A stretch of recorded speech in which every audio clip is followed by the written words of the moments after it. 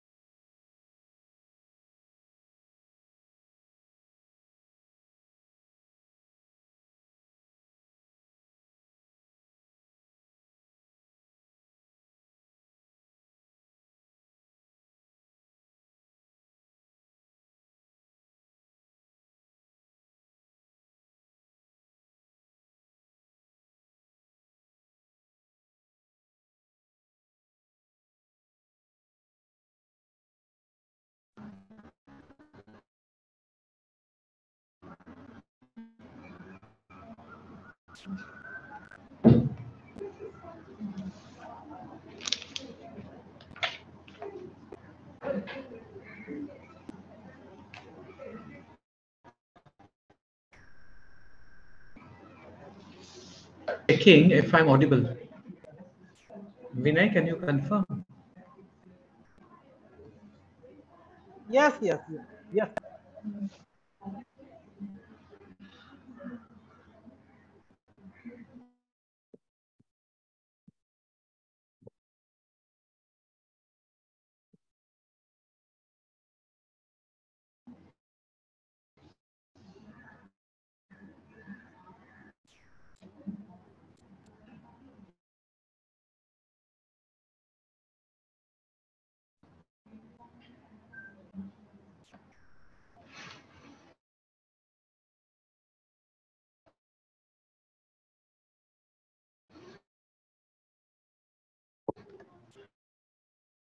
Shall we get going, Vinay? Vinay, if you can hear me, can we get going? Yeah, yeah. Just uh, we are waiting for a few uh, participants.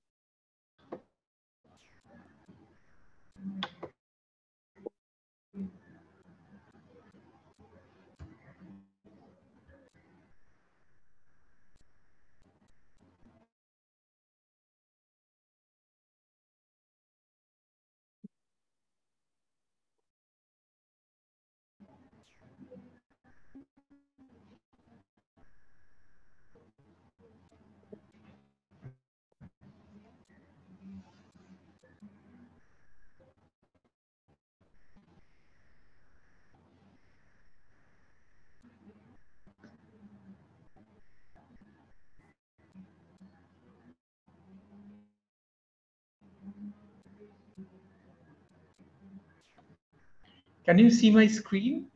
Uh, yeah.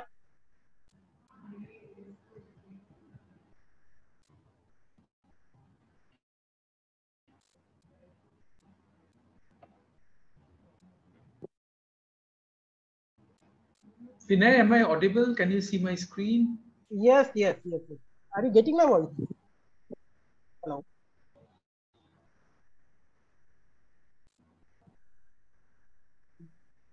Yes. Yes, we can see. Shall we start? Uh, we are having only uh, six participants. Uh, shall we wait for two minutes?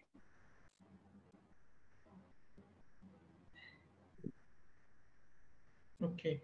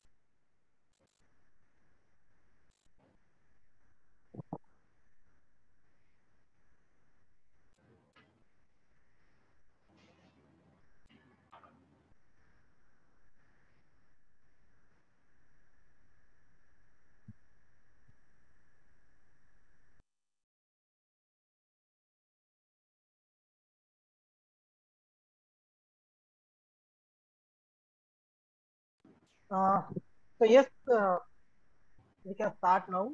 We are having uh, 10 participants now. Actually, it's 3 and 5.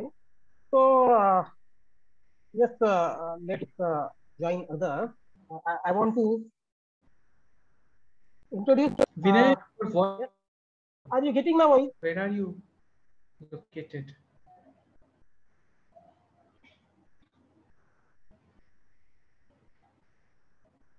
Can't hear anything.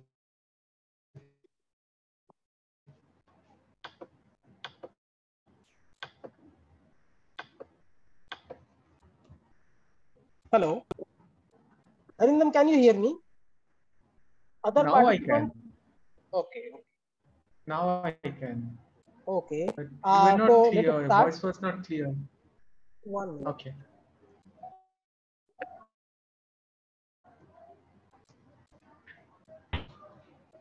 It clear now?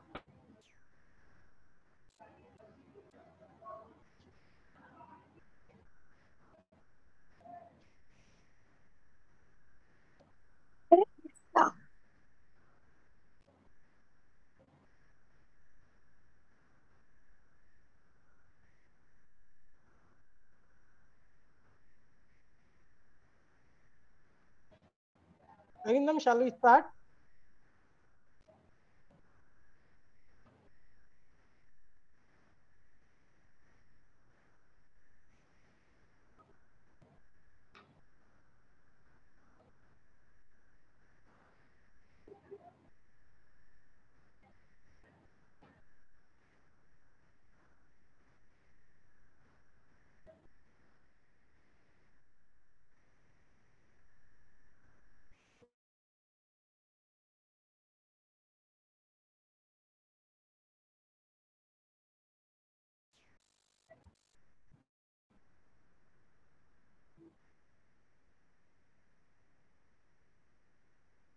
Hello.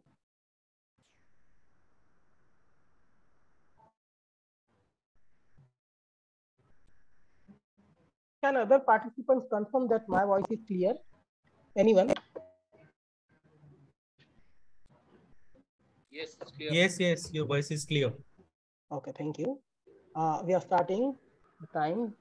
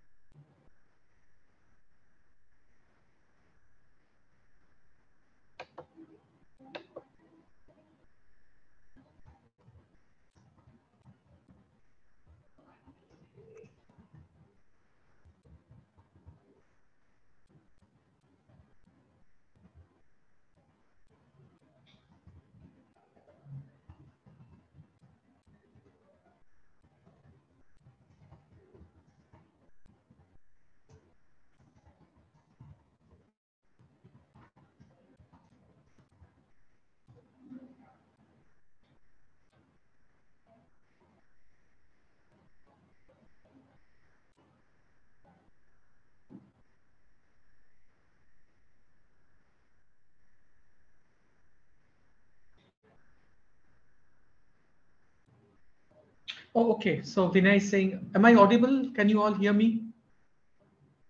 Just a thumbs up. Yes, or- yes, yes, pretty Okay, clear, okay. pretty clear. Excellent, Uh, excellent. So, all right. So I will start with. Uh, Arindam, actually, I Yes, want to introduce uh, about you and uh, about oh, that's speaker. okay. We can. It's already late. It's ten minutes. You can introduce okay. me later. You know, they know. Oh. Uh, you know, they can go to the Oh. website and check. It's fine. Oh, Let's okay, start. then it's okay, okay, okay. You can start. So I'm going to talk about uh, multiplicative reasoning, and uh, I take it as a you know a session where we will get a lot to discuss and talk about, and I will be leaving some of the uh, you know some of the ideas quite uh, recently developed, not by me but uh, by a group mainly in, based in Oxford University Education Department, uh, with whom I'm closely linked, and that's the idea that I'm going to propose and present before you. And I'm hoping that we will have more you know time for uh, conversation here.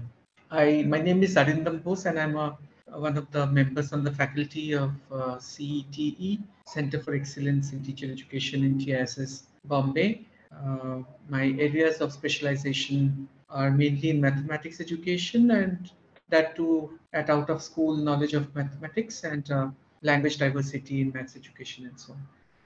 All right, so with that brief uh, introduction, uh, this is what I'm planning to do in the next half an hour or so, and then we'll open up for discussion. Please also stop me in between if you think you have pertinent questions or you know, comments to make.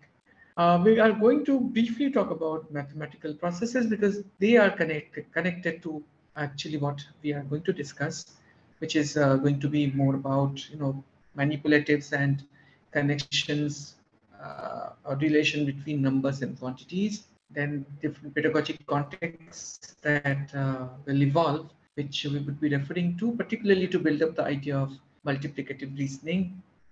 And uh, towards the end, I will give you some examples from Clix proportional reasoning module, if I am able to go there, and then I have the floor open for discussion.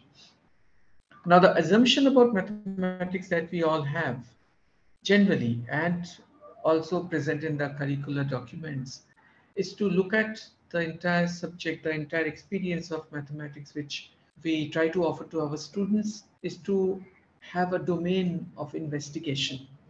In fact, there are many critical theorists uh, drawing from Paulo Freire's critical theory uh, have framed this idea as landscape of investigation. Landscape of investigation. So it's like a platform that mathematics uh, learning offers to students or anyone uh, who is using mathematics to be able to critically evaluate to make decisions to make and take decisions very judiciously uh, and also to move towards uh, seeing the world and interpreting the world in a way which brings forth uh, correct or you know, to the extent possible, mathematically correct. Now that is also debatable, of course. But then that kind of investigation is what we are trying to refer to. Now it can also be seen as a way to think about and know the world. You know? And now this is actually a phrase from Paulo Freire's writing, uh, Pedagogy of Literacy, um, to read and know the read and write the world. Basically, to know the world, to interpret the world. That's reading and writing the world would actually mean about uh, you know not just interpreting but be able to make some changes so mathematics education from that perspective really and the assumption the third assumption is also that there are different mathematical ways to understand the world and we want our children to gather some of these and become expert or at least be able to use the mathematical ways to understand and interpret the world. And there are ways of representing information with numbers and other mathematical symbols because mathematics has its own uh, linguistic discourse and grammar, which also incorporates different symbols and signs, signs for operations, different meanings and structures, sorry, for relations, and also for unknown values. And this is what generally emerges in the till about middle school mathematics then the fifth point is about using mathematics to know the world and also to rely on mathematical systems of science that can allow us to make those or build those models of the world. You know, for example, a lot is being said and done on mathematical modeling. Mm. So I'm not actually getting there, but at least in the, within the middle school level, we have lots of opportunities for creating those models uh, for interpreting the world using mathematics. So these are the general assumptions that we have with mathematics. Now, connecting it with the pedagogic context that we generally have, the purpose of the pedagogy, mathematics pedagogy in school, particularly till about middle school level, say uh, grade eight, is to build conceptual understanding about relationships. Now, relationships between what? between different manipulatives. The manipulatives that we can refer to, particularly focusing on multiplicative reasoning, if we want to restrict ourselves in that domain, then the manipulatives would be quantities and numbers. You know, these are the generally the the manipulatives that we use to build conceptual understanding around proportional reasoning and multiplicative reasoning, and generally mathematical reasoning, so to say. Now, in multiplicative reasoning, the manipulatives are often, you know, finding relationships between numbers and quantities or relationship between two quantities. You know, this is how the entire gamut of multiplicative reasoning emerges. Uh, the other pedagogic purpose is also to have different well-defined mathematical processes in place. Now the word well-defined is a little problematic, although I'm using it is because these are used in the curricular documents. Now, what happens is that these well-defined processes also act as gatekeepers, you know, to allow some of these processes as formal and textbookish and school type vis-a-vis -vis processes which one can see out of school context, you know, particularly in what we know or call as work context mathematics, workplace mathematics, street mathematics, everyday mathematics, and so on. And often these words are terminologies are used synonymously you know, to refer to each other you know, interchangeably. The other pedagogic purpose is to build mathematical reasoning, you know, to be able to reason mathematically and that to be able to uh, extend this knowledge on various spatial relations, you know, space and spatial relations. And again, coming back to the objective, some of the objectives of some of the countries at the middle school level is to read and write the world, be able to interpret and make change to the world. But all this, whatever you do, the entire pedagogic purpose is in the gamut of building uh, building mathematical development from sorry from a psychological or cognitive development perspective, from a developmental theory perspective, you know, mathematical development in that sense. Now, what does research say or tell us? Now, the research that I'm trying to or going to refer to mostly will be from, as I said, a group that worked in Oxford University's education department, led by Terezinha Nunes and uh, Peter Bryant.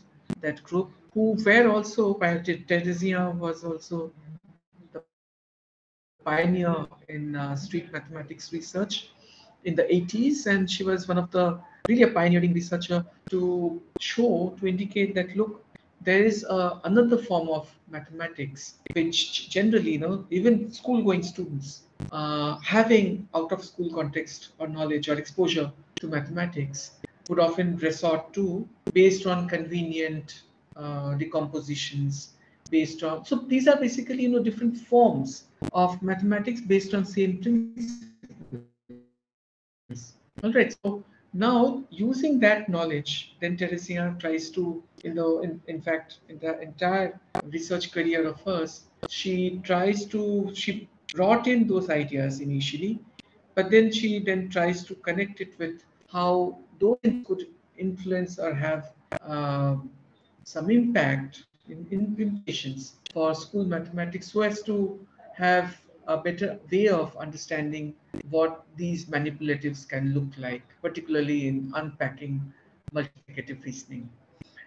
Now, they have this uh, wonderful book and also a paper on um, series of papers though, but some of these are review papers really on multiplicative reasoning.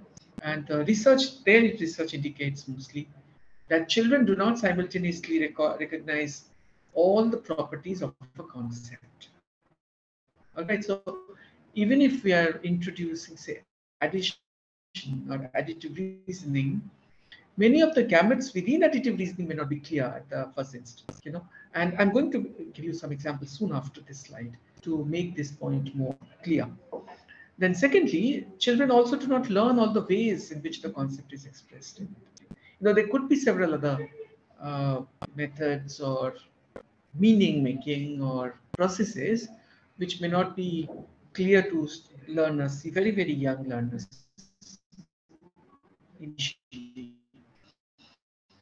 And they are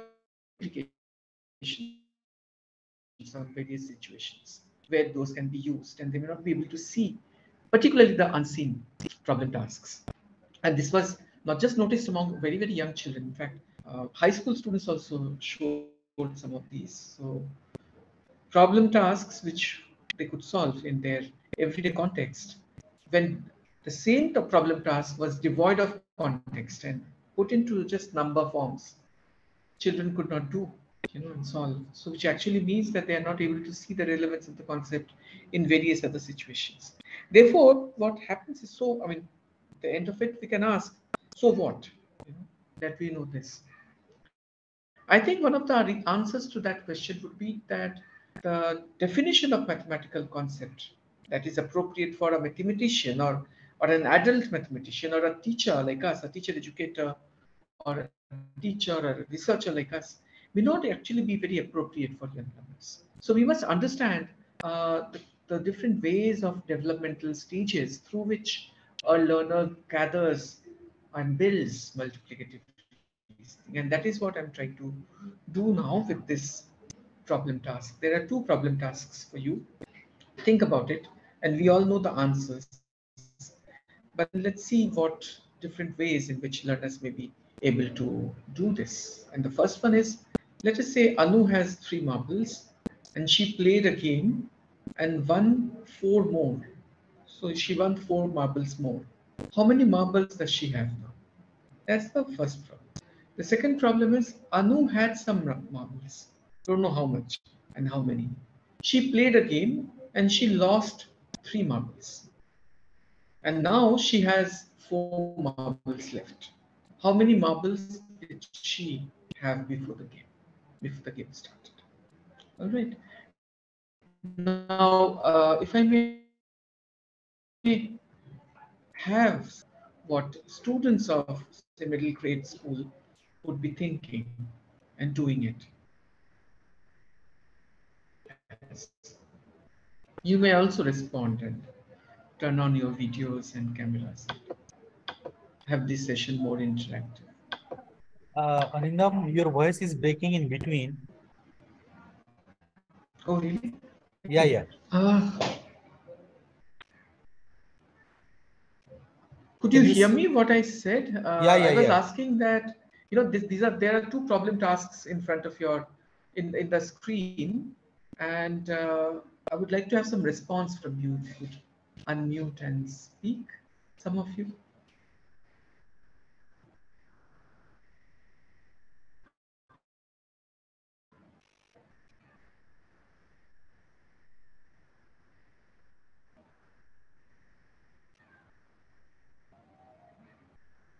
Will it be possible for some of you to turn on videos? Because then I can see faces and read faces and expressions. Yeah, I can speak. And the Yes, Narayanji, go ahead. Yeah. The first one is Anu had three marbles and she played a game and won four marbles. How many marbles does she have now? It is just like an additive reasoning. So I have three and I am getting four more. So I am finding the total. But in case of the second one, it is just like an algebraic thinking. So I don't know how much I have, but when I am deducting three, I am getting four. So some unknown part is missing. There unknown part is there. So I don't know. So I'm doing reverse. I'm doing also addition here, but I am starting from the unknown. And but in in problem one, both the things are given. So I know where to go about and do the additive reasoning to get the answer. But in case of the second one, I, I'm doing some pre-algebraic thinking.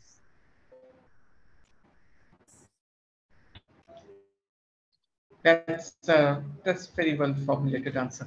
Anyone here who'd like to disagree with what Narayana said or would like to add to what he said?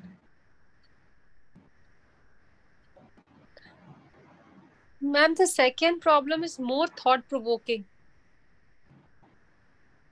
Means what? Like we presume uh, something like it's just we take some some imaginary number we are taking, then we are doing mathematical operations is giving more of a room to think over the things. Right, but are the are, are, are these tasks, you know, these two tasks, are they different from each other?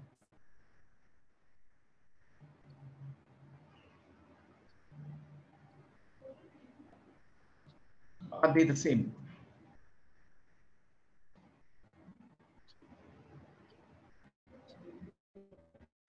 So I think uh, that both of them are are uh, Himanjuji, were saying it's different. Would you explain?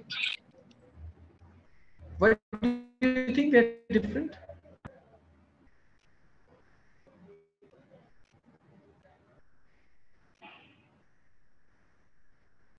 Think both are centered around uh, additive thinking, uh, and uh, it's just that the second task is uh, that you have to take.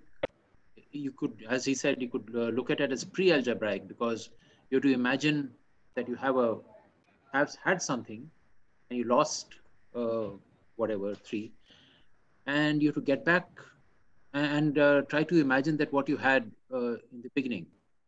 So what I also think is that young children, when they start uh, looking at problems like problem two, uh, they find it a little more, uh, a little more kind of difficult because they're not used to uh, thinking of mathematics in terms of imagination. That's my experience. Absolutely, and this is precisely what uh, you know researchers and we, we claim that uh, you know the first one, the first task, which is a, a you know a typical addition task, but while the second one is also an addition task, but it's not that typical. You know, one needs to either go to the reverse transformation, which is to you know, basically apply subtraction, but in a reverse fashion, in a reverse operation of addition, but one can also look at it as a build on task. So I, I have four marbles with me, three were lost, so uh, basically going beyond three more, and where do I go? Like knowledge is being addressed, brought in, which is generally taken as a Uh, Arindam, task, I do suggest you I to switch off your video. inverse addition task. Right. I do suggest you to switch off your video. Are Ah, your voice is breaking in between. So if you switch off your video, I think network will be better. Yeah. Let's see. Okay. So uh, now researchers would say, is it better now? Yes, this is This better, is better. what Yeah. uh, better. Okay. Now researchers say that children who are just starting to learn about arithmetic will recognize problem one as addition. But it usually takes two or more years of schooling before they recognize the relevance of addition to problem two. And Terezinha Nunes and Peter Bryant, they further claim that therefore children may know something about addition, but, they may not yet recognize its relevance to all addition problems for a, for a long time to come. You know, even when they're into algebra sometimes. And we will see more such examples as we move forward. We also see that uh, to understand mathematical concepts develop in children's minds through their experience, there are you know, set of concepts which needs to be taken into account and more, more so from psychological underpinnings. And these are sets, different sets of situation which can make those concepts more useful and meaningful. Not like in Tanzanian textbook talking about you know speed of a tube and how long it takes to cross a platform and so on you know basically distance speed and distance question using tube you know a moving tube which is essentially drawn from you know a, maybe an english textbook from england and uh, using a example of london tube underground railway system which for ch- tanzanian children had no sense of so therefore the concepts that we are using the context that we are using must have make some meaningful context with the set of operational invariants that one need to deal with in these situations. Now, these invariants are often the ones which are problematic for learners.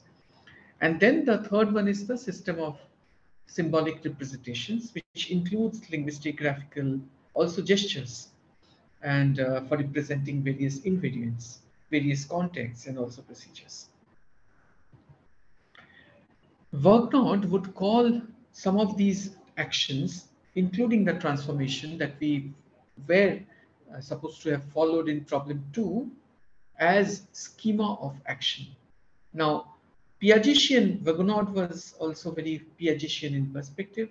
Now, Piaget, for Piaget, schema was, you know, the psychological, uh, in a way, psychological manipulatives or acts, actions, which happen to have, you know, series of activities within a plan of action that helped a doer, often children, to to do a problem task, to get to a solution you know, using certain set of situations. Extending that idea, Vergnaud says that, well, we need to have a sequence of sequentially organized series of activities of a certain situation. And let's call that, that's not really a schema, but that's more than a schema, basically associated with an activity. So there could be multiple schema working together, you know, simultaneously and concurrently. So schema of action would give meaning to mathematical science, but the representations within uh, those schema would consist not only of the conventional mathematical signs, but can also incorporate other non-verbal uh, you know, acts such as gestures, but also verbal acts such as words or visuals and iconic signs and so on. So it's a it's an amalgamation of both verbal and non-verbal cues, which are used for you know uh, undertaking an activity or series of such organizations of activities. And some of these are not always hands-on can can also be mental activities mental schemas of action. Now that takes us to quantities and transformation because that's as i said some of the schemas of action could also be mental. And then dealing with transformation and transformation over quantities can often be mental tasks. So quantities can be changed by transformation that we all understand, But for many children, young children, they must also learn that even transformations can change quantities. And exactly how the quantities are changed. This, the second part is often not clear. So therefore, the first question that was A and A plus B, which is 4 plus 7, uh, 7 4 plus 3, was very clear because that was a straightforward you know, quantities to be added and hence transformed. But the other one, which also required that quantities be changed and a reverse transformation takes place, was difficult to handle. Very young children, say age 3, uh, can tell if you add items to a set that it will have more items. And if you take away a few items from the set, then the set will have will be left with fewer items. But not only those children, but even older ones may not actually understand the reversibility of transformations, which often becomes necessary for understanding operations. And that is precisely why problem two becomes little challenging. You know, and then we leave it to pre-algebraic.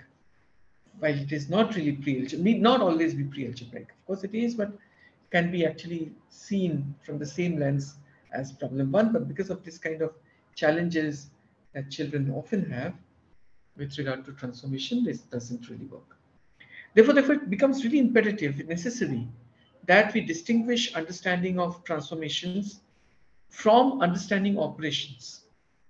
And that too, while analyzing children's mathematical development, this becomes, this actually uh, holds more importance from that perspective. And therefore, additive reasoning which we refer to often as reasoning about addition or subtraction, can also be about relation between two arithmetical operations. And uh, we will argue later on, if, I, if time permits, in this talk or maybe in the next talk, that uh, you know that our assumption that a multiplication or multiplicative reasoning is based on series of additive reasonings may not actually work out. In fact, uh, Terezinha's group now claims that, well, understanding of multiplication is basically a parallel process as we uh, do additive reasoning. So we build additive reasoning and we build multiplicative reasoning concurrently. And multiplication need not always be seen as a repeated uh, way to, or a repeated addition. Let's put it directly. Multiplication need not always be seen or looked into as repeated addition. Multiplicative reasoning or multiplication can be derived independently of um, addition just by merely transforming you know and that transformation is really really crucial. This is same as asking you to uh, you know interpret say 10 divided by 2 you know both in quotative form as well as in the partitive form. Now 10 divided by 2 can also be seen uh, the way we look at it is splitting 10 into two parts you know part of the whole so 10 divided by 2 is dividing 10 in two parts, straightforward. But then 10 divided by 2 can also be referred to as number of copies of 2 that is there in 10. Isn't it? So there are five copies of 2 which are there in 10. So 5 2s will make 10. That is one interpretation which leads to repeated addition mainly. But then the other one, which is which is the uh, quotative meaning, splitting into two, is not really coming from repeated addition meaning basically. So it has its independent way of thinking and assuming that when division is really splitting and similarly multiplication is the reverse operation of division. So it would be conjoining together, juxtaposing together would mean like multiplication by two. It not always come from repeatedly adding as well. Now these are some of the concepts which are which don't uh, come to us very, very straightforward, in a straightforward manner. Uh, but and may appear as counterintuitive, but these are some of the ideas which have emerged lately, and we can engage in these ideas.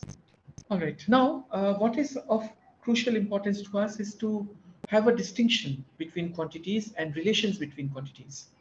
You know, because these are the relevant ideas which which are helpful for us to analyze the developmental trajectory of child's mathematical knowledge. Because as we argued just a while ago, that while children may be able to use numbers to solve problems, especially about quantities, but they still may find difficult to use numbers to solve problems about relations between quantities. You know, such as uh, the ones we see in, particularly in everyday context, out of school mathematics, solve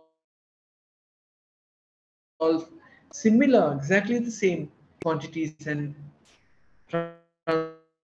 transformations, but requiring Yeah, your voice is breaking. So I'm not able to hear the last part, what you said. Ali played two games in a series. He won eight. How many points does he have? The distinction between quantities and relations and mathematical knowledge achievement, particularly multiplicative reasoning. You know, the main manipulatives here are the, the relations between quantities. Often we, often children or even the textbooks deal with quantities and numbers. But when it comes to relation between two quantities, particularly the ratio question, you know, or the cost part parameter, you know, we talk about price, but what about cost? You know, uh, for example, which is price per unit, which is essentially a relation between two quantities, often becomes really challenging for children, for learners. So that is what I was trying to say there, that, uh, you know, uh, it's important that we try to make, uh, you know, learners understand about the relation between two quantities, more over and above quantity and a number, and so on. Uh, was was I audible No. Naren? Yeah, Yeah. can you can you just repeat the second one, the problem being? Problem? No, no, I'm, I'm yet to read the second problem. Problem A, which is, Ali, I don't know why why the internet is so bad in our campus today. I'm in- sitting in the office right now. Oh, carry on, carry on. Very sorry for that. Problem A, Ali played two games in a series and he won eight points in the first game and lost two points in the second game. How many points does he have now? And problem B is Ali pay, played games in a series that runs over two days. He played some games yesterday and today he played two games more that count towards his score. Today he won eight points in the first game and lost two points in the second. Does he have more or fewer points now than yesterday? How many more or how many less is the question. Ponder over this and think about it for say a minute. And then tell us whether, whether you think these two problems, these two tasks are similar or do you think they are different, they are distinct?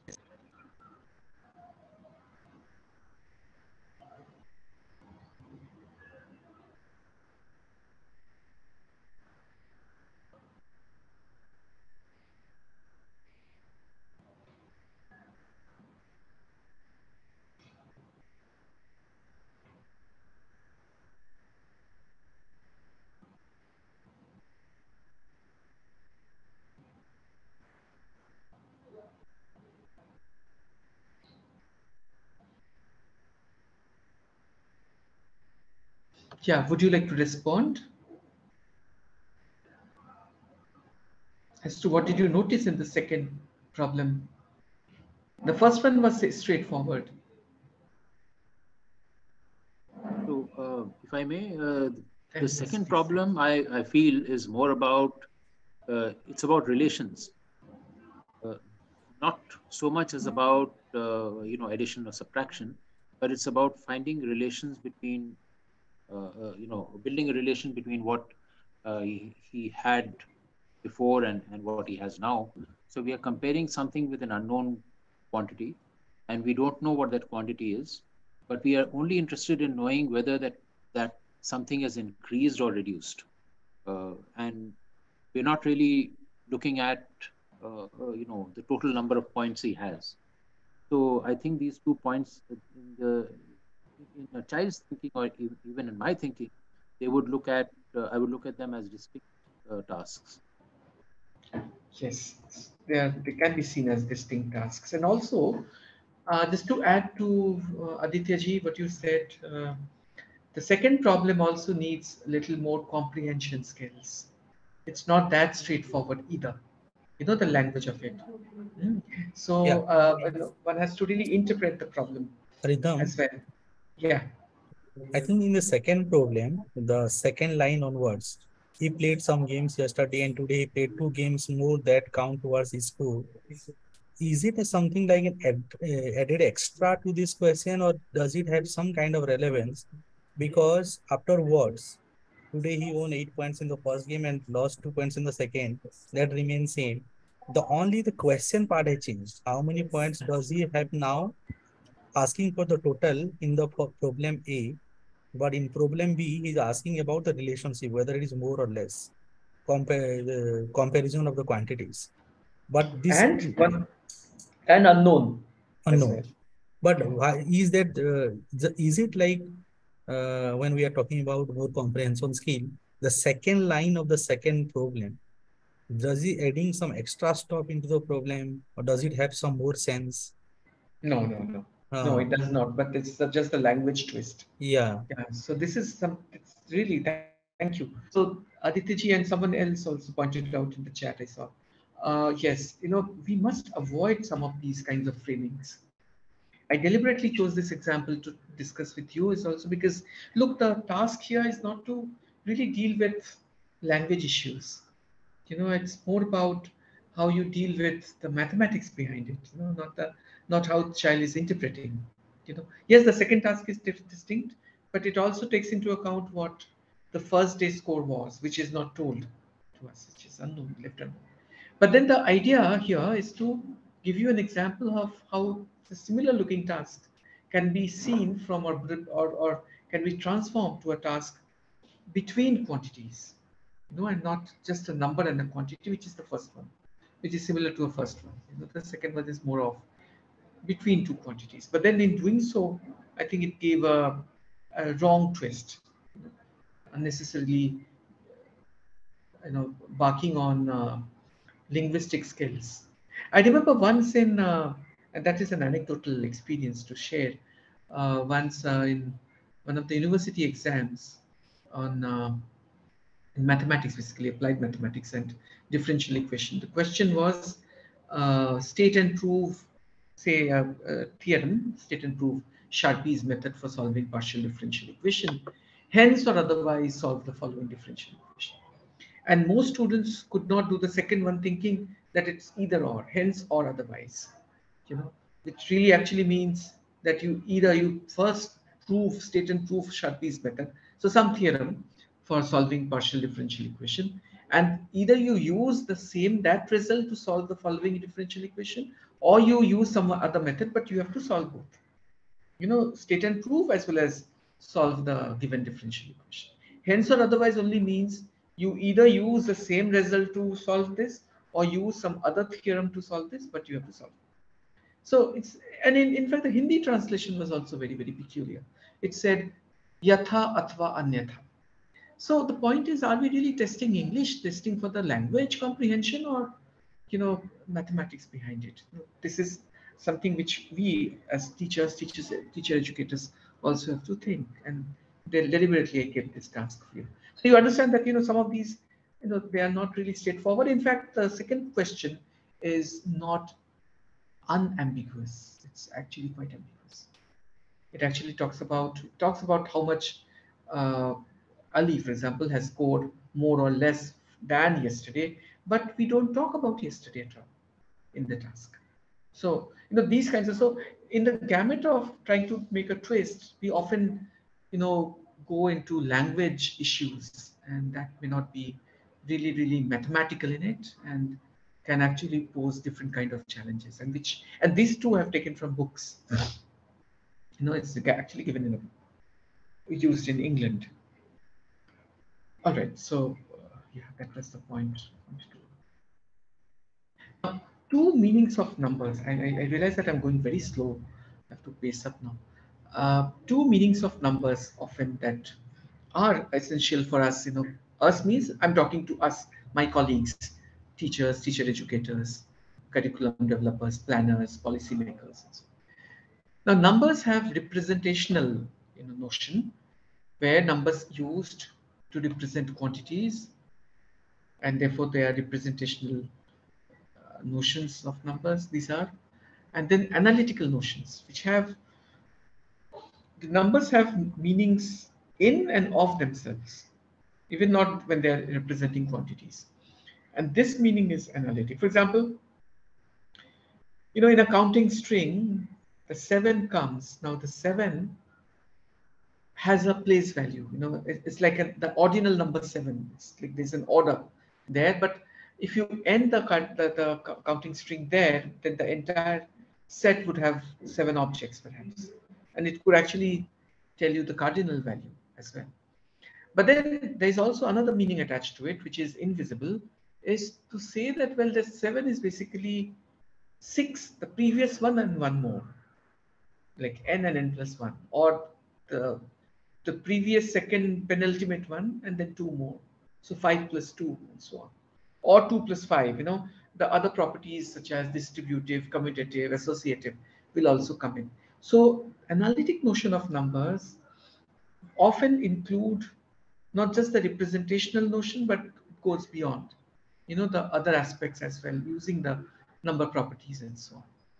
But in the in context of, you know, dealing with multiplicative reasoning, often these two meanings of numbers are interchangeably used.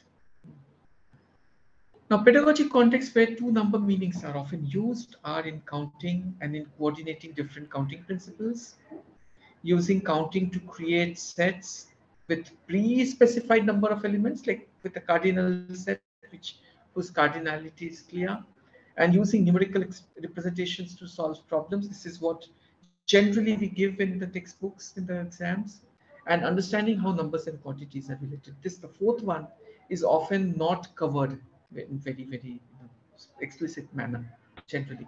Like in the same way how fractions are construct, you know, that fractions can have several meanings. Part whole is one which we often take to or deal with, but there is this ratio concept of a fraction. A fraction can be interpreted as a ratio you know, to numbers, as a quotient of two numbers, as an operator uh, meaning, you know, like half of something or p upon q of, something, you know, like a fraction of something.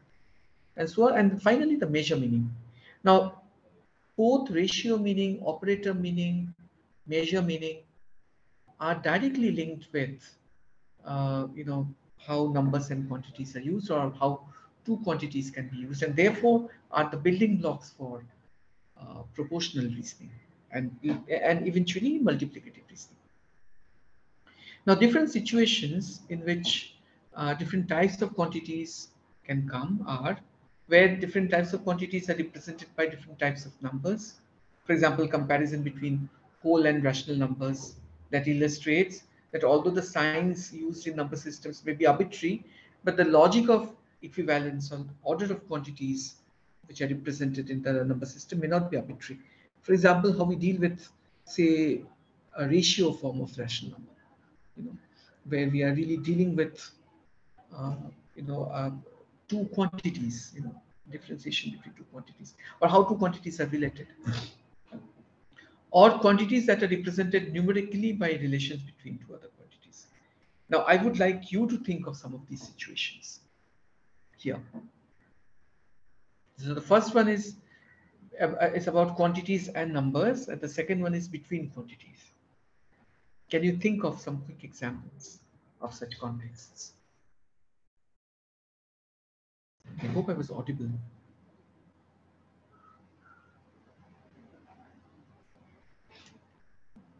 Uh, responding to the chat message, yes, Narayana, yes, we, you can actually make three meanings from it. And the two meanings are given in this slide.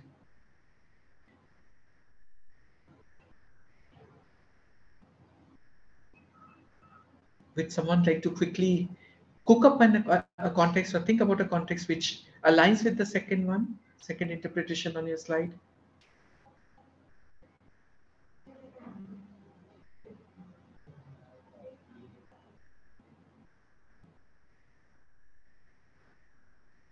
Am I audible? Can you all hear me?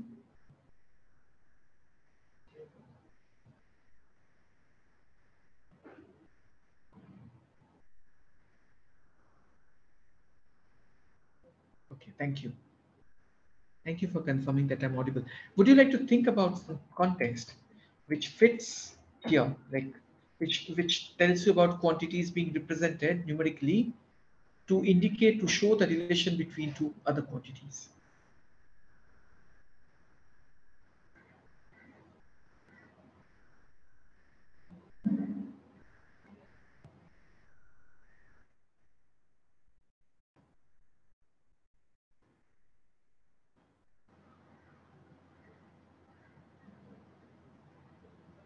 You say that uh, things like uh, you know speed or acceleration, I mean uh, physical quantities like this, are actually there's a number. So you say acceleration of gravity is whatever 9.8, uh, but actually it's a it's representing a relation between two different quantities or maybe uh, yeah, two different quantities. One a square in case of of acceleration, and one is uh, time, and the other is. Uh, Absolutely. But you know what? Uh, Dityaji, you are right, totally right. In fact, the response in the chat box are also correct. You know, someone has written force is mass into acceleration. That is fine. Distance is speed into time. But think of, can you think of a context which also will go well with, say, middle graders, middle school children? But there I can't really talk about acceleration. Yeah, Geetika ji, you gave a good answer. Yeah, number of objects and price. What what would you like to call that? Number of objects and price. You know what that is? That quantity that you generate is what? cost cost Yeah. So Jayashree ji also mentioned it. Yes, cost basically. Example is use of weight unit kilogram and cost of it. That's right. So basically price per unit, you know, is something which we often deal with. And that is a, a, a very good example of how uh, a quantity can be represented numerically, but actually giving gives a relation between two other quantities. And such, you know, these are situations which we handle all the time, particularly in building ratio concept, in building quotient, in building measure concept of fractions but not often explicitly enough. Now, here are two contrasting situations which are interesting for us extensive quantities and intensive quantities. Often, extensive quantities are typically measured by part of whole, you know, like units of the quantity of the same quantity, you know. So it would be part of whole. You know. For example, if I want to distribute a chocolate among a number of students, and then it's the part of the chocolate is part of the same chocolate, basically. It's the same quantity that is being deal, dealt with. So the quantity of chocolate is measured in units that are themselves a quantity of chocolate, you know, and so on. Similarly, uh, say length, which is measured in units of length, area measured in units of area, volumes measured in unit of volume and so on. These are all, you know, extensive quantities. We are extending that quantities to deal with or to basically explain or uh, use a situation in which that may work. But the intensive quantities, it's like going beyond really, you know, where it involves a relation between two other quantities, such as a ratio. You know, intensive quantities are described often by rational numbers. For example, the strength of the taste of a juice you know, made with concentrate and water can be expressed as the ratio of the concentrate to water. You know, how, how juicy, how strong the flavor is depends on the ratio of the concentrate and the water mixed. And so that would be an intensive quantity. Price, a cost is an intensive quantity, by the way, which we just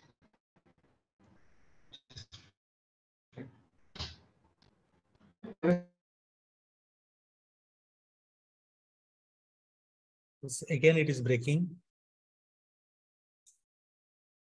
I was thinking of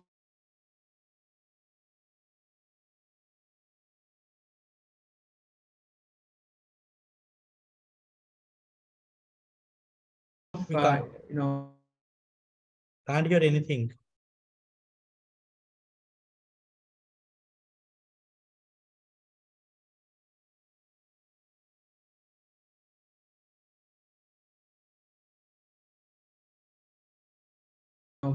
Actually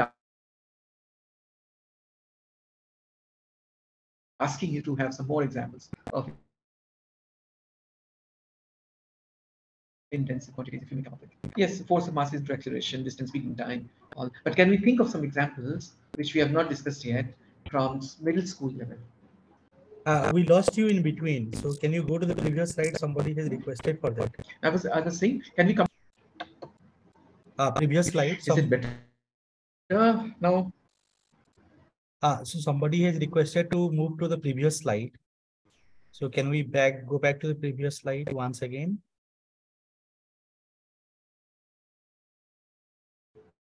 Yeah, thanks.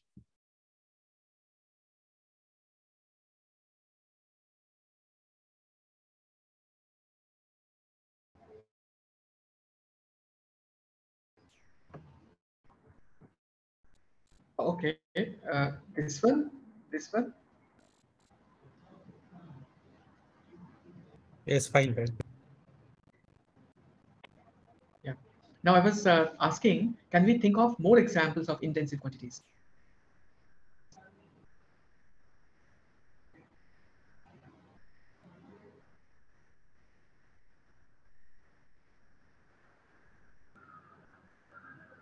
Yeah.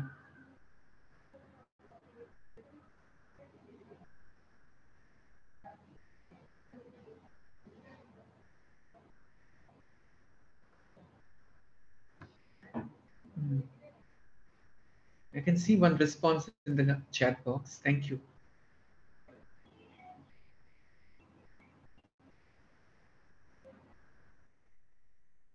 Let's move ahead. Now let us see this. Where will you put this guy? Problem C. And let us discuss whether it's in, intensive or extensive or something else. So Ali and Anu were cycling equally fast around the track. Anu started first. When Anu had completed the circuit nine times, Ali had completed it three times. When Ali had completed it 15 times, how many times had Anu gone around the circuit? That's the question.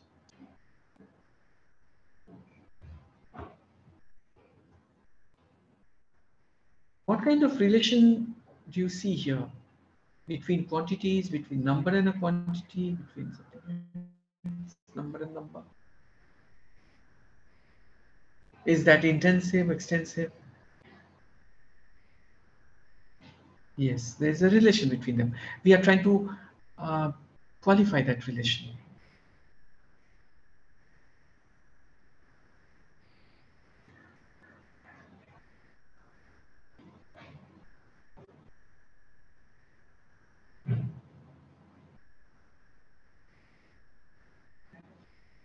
What would you call it? Is it an example of intensive, extensive?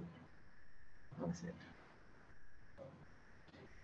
Uh, so in this question, one I have one question I have. So when did Ali start? This is completely missing.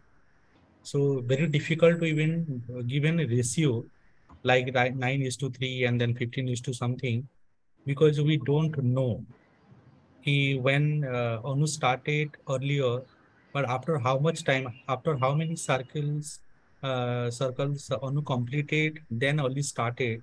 So that I we can't see a direct relationship between even nine times and three times. So some uh, information is missing in between. So how to uh, solve that part? Okay. No, but he's So, saying uh, that it's uh, equally, you know, they're cycling equally fast. No, fine. So but that means the uh, initial condition is missing, which is what uh, I think you have to work out. Uh, Huh, so but- again a re- relational problem rather than.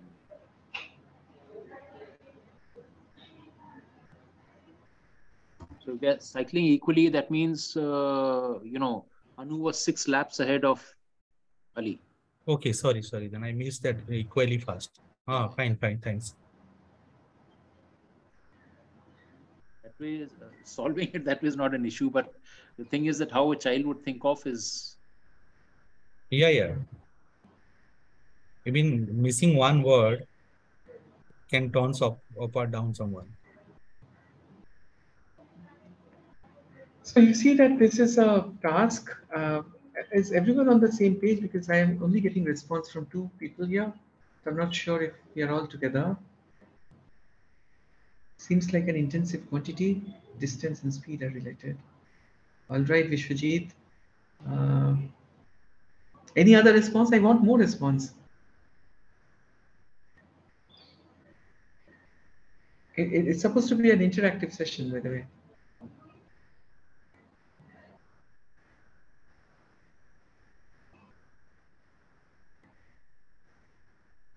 I may be wrong here, but I don't think there's any ratio involved here, and and uh, it's it just it seems to go back to the additive thing that we talked about right in the beginning. Yeah, this is extensive, extensive, not intensive. That is a very good, fair, that's a fair observation, Aditya Yeah. It seems because the distance, you know, the, the what is invariant is to be found out. What is invariant here is interesting. That is that six lap difference because they are cycling equally fast and therefore the you know the number of laps that one has covered or both have covered will have the number of laps I'm talking about, the number will always have a difference, and an invariant difference, because that's not changing because the speed is not changing. So therefore, since Anu started early, she has already taken a few laps before Ali started. And because the speed is same, you know, you know, the difference between Ali and Anu in terms of number of laps is going to be invariant. And, uh, and therefore, one is tempted to think that this is an additive reasoning task. You know, no matter what you do, Ali, Anu plus, so Ali plus six is Anu, number of laps. And uh, therefore, one may actually think that, well, the answer can actually be 21, you know, 21 times and so on. But do you think that this could also be uh, seen as a multiplicative reasoning.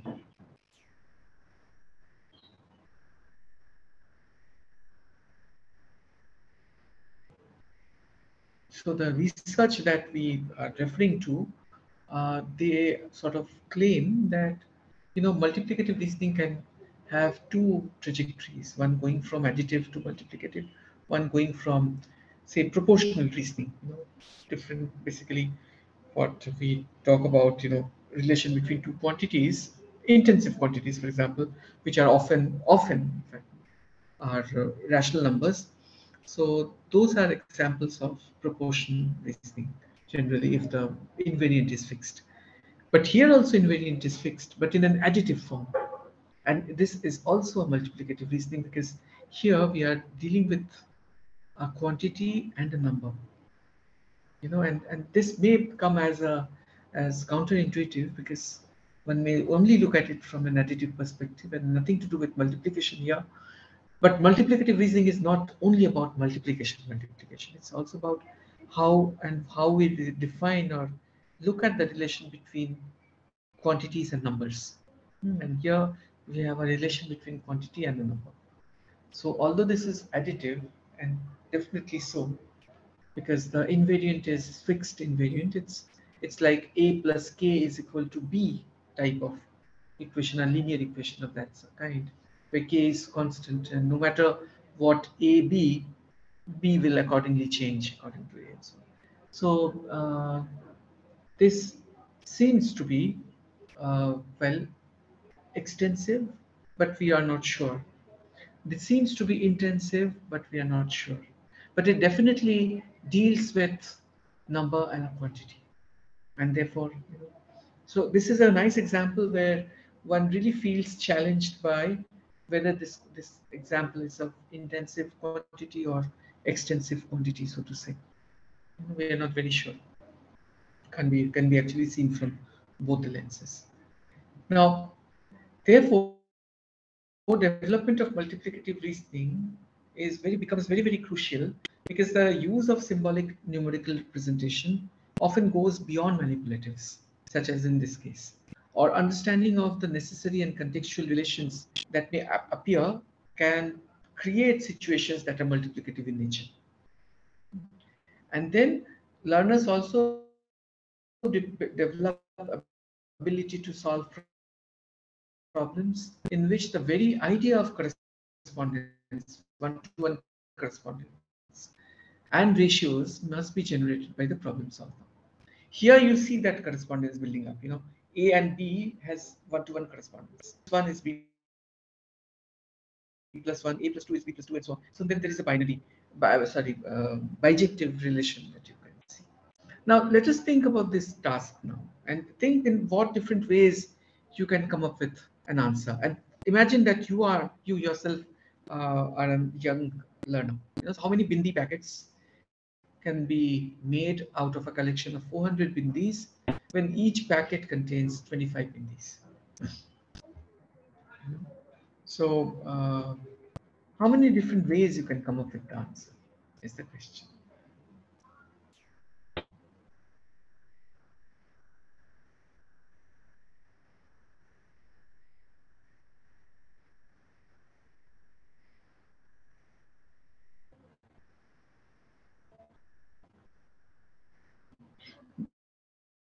What do you see here? Do you see intensive quantities here or extensive quantities here? Do you see it as a, a division problem?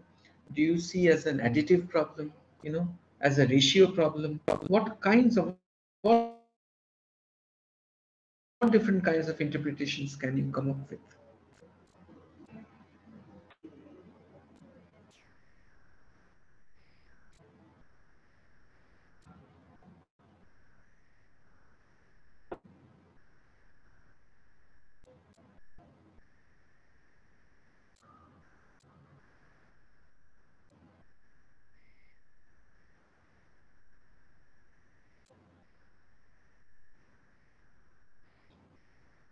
Would anyone like to speak up?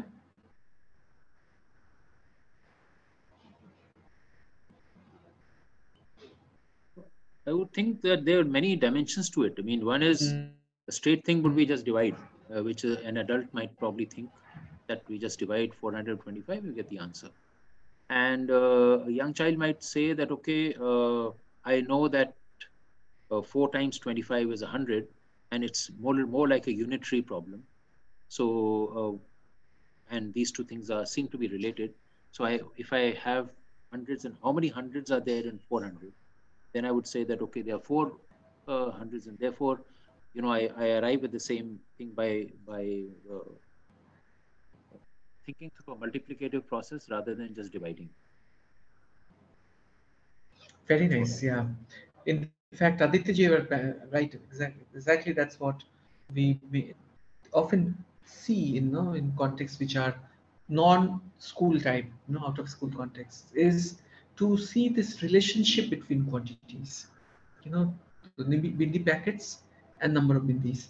So uh, now seeing that well uh, 25 has a nice relation with 100 that it's double and double and double is a very very innate basic human trait doubling and halving and to actually be able to see that well it's double of double of 25 that takes me to 100 and then 100 and 100 and 400 are also linked with the same relation as 25 and 100 you know which is basically double and double so four times. So uh, and Arindam, altogether therefore it's 16 times. Yeah Arindam. or the other way around you know it's the yes. Hello? Uh, what i'm thinking is not we are not looking at how the child is solving the problem. This is what kind of strategy the child is using, but we are looking at whether it is extensive or intensive, whether it is a simple division problem or it is a ratio problem. I think we are looking from that direction. We are not looking at what is the strategy the child will use to solve this problem. Am I right? Am I understood? No, Have I, understood the question? No, no, no, no. I wanted to look at from the both angles okay. I would have discussed the same what you're saying. Mm. I hmm. would come there. Yeah. So uh, yeah, so these are the kinds of strategies that one noticed, you know, in, in, in solving such examples. But then when, if we now extend, if was the child really playing around, since the child is able to play around with the numbers and the quantities, and particularly because in out of school context, often the number patterns or the number relations are visibly clear than in the formal setup because of you know uh, the situational invariance that one can attach to with numbers. And that one sees that well this is double of double or this is half of half or pow and so on colloquially speaking one quarter and so on. So those invariants then tempt us you know the researchers may actually think well this may then become really an intensive quantity you know because we are not really looking at part of whole always but you're also looking at invariance and therefore between two quantities a number which deals with two quantities and therefore intensive. One can also look at it from an additive, basically in extensive quantity because one can see it as pow, you know, quarter and quarter, half and half. So a quarter and then again quarter and half and half. So it's quarter of quarter that way. So becomes extensive. Now, therefore, these real life situations are generally intertwined between extensive or intensive and not may not really always be very very straightforward to so to say uh, may not be very very distinguishable and need not be so as well now this is only a, an example of how multiplicative reasoning can be theorized but in the practical situation examples such as these are also meeting points where these ideas intensive extensive can meet together and bring an idea together and an amalgamation of both. And therefore, multiplicative reasoning, that which we often think of, you know, having to derive with multiplication and then as a division task or as a ratio task, need not always be so. It can also be a task which is purely based on, uh, you know, convenient grouping and therefore additive in, in nature, you know, like extensive and so on. Now, using these examples, we uh, in the connected learning initiative that we used you know in our context in TISS, uh, the mathematics modules on proportional reasoning has uh, several interactive games you know digitally enabled using technology affordances to create a situation where symbolic numerical representation can go beyond manipulatives and create similar situations where one can actually see context from both angles or be able to understand the necessary contextual relation in a multiplicative situation and also the correspondences. And I would like to discuss here two examples uh, from the task and I'm, I'm going to share, and these examples are scaling task and variation task and I'm going to share this, these two links because if you could uh, open these links in your own devices, you'd be able to see what I'm trying to say because I would like to keep some time for our discussion. Now, the first, it's very easy. It's clix oer.tiss.edu slash home slash e-library. And these OER are open educational resource. They are free to use and free as in free of cost, but also free as in freedom, where you have, uh, you know, you're free to use, ad adopt, adapt, but yes, acknowledge and then oh. use in your context. So uh, these can... are really open educational resource in that context. Uh, and these are available on the Clix platform on this website, uh, freely downloadable. And you can also see that these are there are not just these you know mathematical modules, but there are also modules on science, on uh, communicative English, or as also on astronomy, which is often not taught in school science subject. All right. So, uh, sorry, you Narayana, you wanted. Ah, can you send the link in the chat box? It will be easier for us to open. And we can save it here.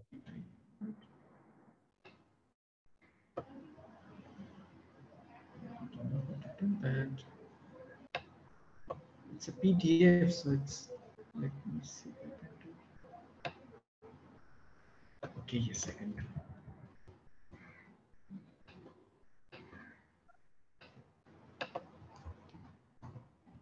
This is one. The entire library is there for you. And this is the one which has the variation task.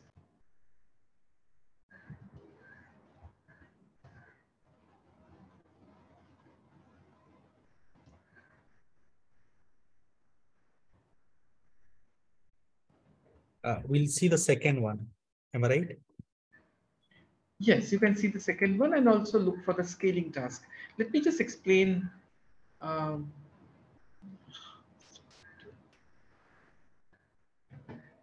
now in the scaling task, uh, I'll just take a minute and explain and leave it to you. Uh, you know, often we do not do scaling in school, uh, you know, particularly on proportional reasoning. Uh, this is to basically understand how one would look. See, we always do comparison tasks, but then to imagine how a small object, if scaled up, you know, in all the dimensions, you know, if it is a two-dimensional object in all both the dimensional, three-dimensional object, all the dimension, three dimension, then what changes and what remains invariant? How does it look like? You know, that kind of a task it is. Now, where do we, what do we see here you know, in terms of reasoning, multiplicative reasoning? You know, it's, it's something that may not be very, very intuitive always, particularly when you go to three dimensions. And to even to talk about, say, a cube, you know, say you draw a cube of three by three, like three centimeter by three centimeter, and having one centimeter square in between. So basically, nine centimeters square. So nine cubes put together. If I now, if I now scale it by three, you know, how will it look like? And if the center, suppose, was colored by a color, say red, and all other colors are green, how would the center look like in the scaled figure? How many cubes will there be? You know, these kinds of questions, these kind of, you know, basically yes, it's manipulatives, but also making correspondences. And therefore, you know, uh, really engaging with uh, intensive quantities and extensive quantities both. That's one. The variation task is similar. It's basically you have a glass of water and then there are ice cubes. How many ice cubes do you really need to bring water to the brim of the glass? And if you change the size of the ice cube, you know, then what happens to the volume? Basically area, volume and volume, but then it's again a scaling task in that sense, variation task. So what in what is varying and what remains invariant is something that we can think of and ask. So these are some of the you know hands-on activities that we have created and which we think can actually lead to more meaning making because it's helps us to use the manipulatives hands-on, but also to keep in mind the uh, you know multiplicative situations and correspondences and ratios. Yeah. I will stop here and uh, wait for uh, some of your questions and insight sharing. I'm sure many of you must be having more insights from practice, from the field, and it would be very, very interesting and encouraging to hear from the some of the practitioners' voices. Thank you very much.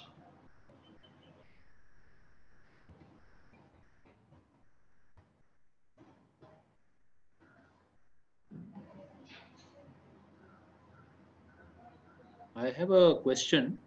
Yes, Aditya Uh, so, I, you know, most of the research that I've gone through and, and probably what we've seen now and the examples we've seen uh, more so, they relate to uh, learning at early stage or middle school stage at the most. And uh, you mean no, in this topic? Uh, well, in this topic area? Yes, uh, uh, yeah. Okay. I, I, mean, uh, the whole thing about numbers and about uh, intensive and extensive, and uh, as we talked about, you, you just mentioned uh, scale and, and variations. Now, actually, the same things can also be transferred. I, I think they can be translated to higher grades, whether you're talking about, you know, Pythagorean sort of triplets, or you're talking about trigonometric ratios. So uh, I was just wondering uh, that you know a lot of research happens at at the uh, elementary stage. I have not come across much research which, which looks at uh, mathematical learning or, or concept forming at uh, later stages. Yeah. I may be wrong, so I just I want to be educated on that. no, no, no, Aditya, you were right. You know, that is also because in our country, India, you know, the mathematics education research is not new. You know, it's, it's has been happening in various pockets, various domains, various groups, uh, both systematically but also you know informally, and we have so far remained very, very you know stuck to till about elementary grade. You know, dealing with mainly you know numbers, number concept, whole number arithmetic, fractions, rational numbers, then geometry, measurement on one, mensuration on one side, but then also looking at transition from arithmetic to algebra. And you're right that you know we have not had much scope or research in the secondary school mathematics or even college level, early college level mathematics. There are, say, uh, you know, calculus education or so on and so forth, but yeah, not much. You're right, and that is also a trend internationally speaking as well. Although things are changing now, I mean, there are more groups. You see, we have to understand that you know this is also a very small group you know, of researchers of us, you know, uh, both nationally and internationally. It's not a big group, and uh, and systematically speaking, I mean, I, uh, I'm just speaking about systematic research. there are also not many universities which offer degrees in mathematics education in India or mathematics education research in, in India say at the levels of masters and PhD. And therefore, we do not have that critical mass to, you know, to have this continuity from going from middle school to high school and so on. But yes, some of uh, my colleagues also have shown interest. Our work in geometry has been in the at the secondary stage, but you are also right that we don't see much in trigonometry research, for example, and so on. Yes, but I think we are also coming up, you know, like in statistics, probability, we see nowadays more of such calculus, yes, but not yet much on uh, quadratic equation, binomial theorem. Yes. Whatever we have is limited to students' misconception and error analysis, but really get engaging with the content of how you know uh, the understanding or the comprehension builds and breaking those to like as we did here has not happened. You're right. Thank you.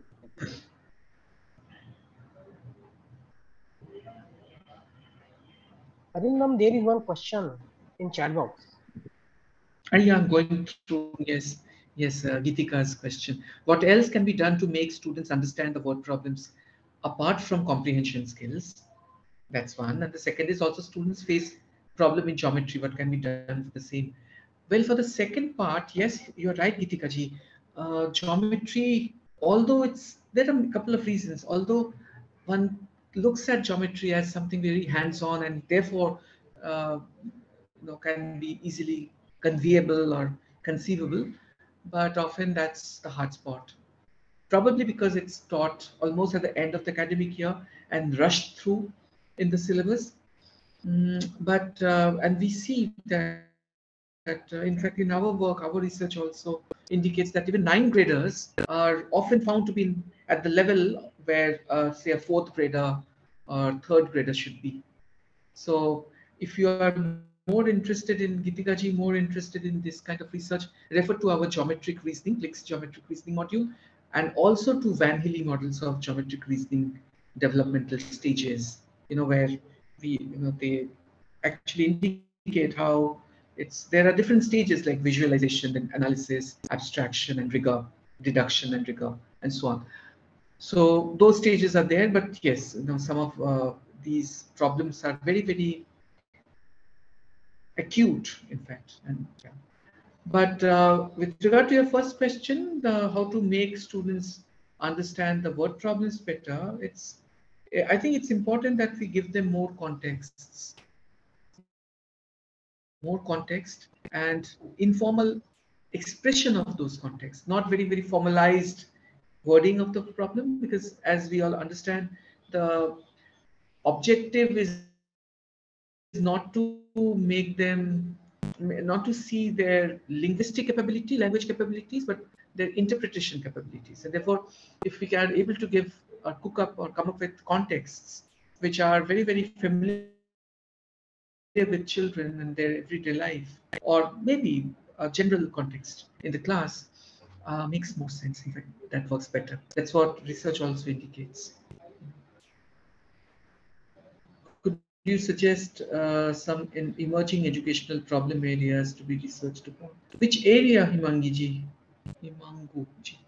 Which area of work? I mean, that would make me. So, if, uh, you're talking about mathematics education, then a lot is happening in this area on, uh, say, curriculum comparison, you know, uh, assessment is a big issue. You know, talk of the day actually, assessment, curriculum, textbook analysis, and also conceptual development on various topic areas. These are some of the educational problem areas one can think of. You know, and then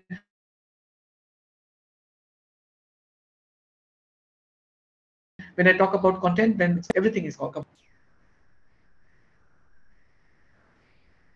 No, as in, no, actually you're right, Aditya The way geometry and in fact the entire mathematics, the way mathematics has evolved, we actually teach is completely in the reverse direction. So forget about Euclid's elements. We are not even we are not even reaching close to Hall and Stevens book. It's uh, quite dilute, but also that know, conceptual understanding is not building up. Yeah. But thank you very much for joining. In fact, I would have liked more participation and more, but then I also spoke for long. But if someone else, you know, those who have not spoken or written, can come up with some other ideas or insights. I think uh, you can stop sharing the screen. Stop sharing the screen. So you will have more visibility. Yeah, thanks.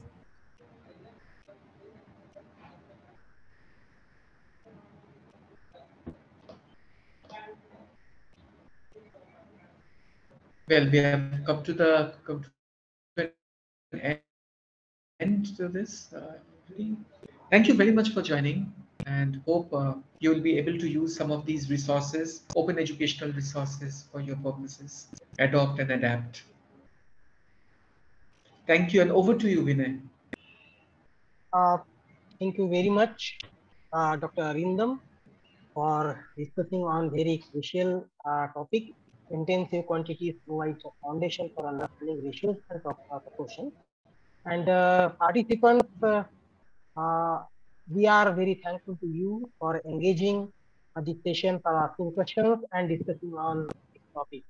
So I think we have uh, our session here. I'm again thankful to all of you from Synergy team and thank you. Uh, thank you. Bye. Thanks.